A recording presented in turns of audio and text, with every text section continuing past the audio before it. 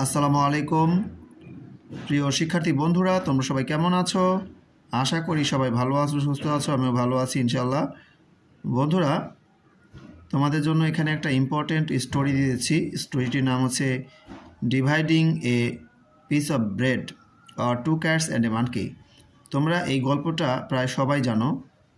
তো এই গল্পটাতে যেটা বলা হচ্ছে সেটা হলো, একদিন দুইটা বিড়াল একটা বাড়ি থেকে একটি রুটি চুরি করে, তারা সেই রুটির বেশিরভাগ অংশ উভয় বিড়ালটাই চায়, তারা এটা নিয়ে মারামারিও করে।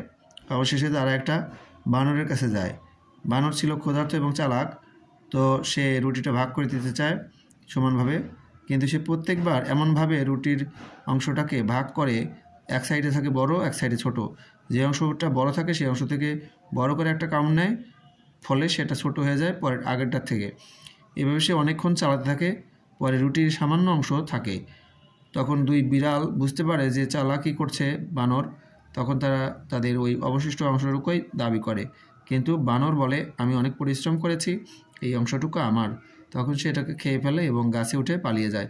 তো বন্ধুরা, এই গল্পটার মানে কি বলব, শিক্ষণীয় যে এরকম যে চুরির উপরে বাট পারি আসলে চুরি করে খাওয়া উচিত নয়, তবে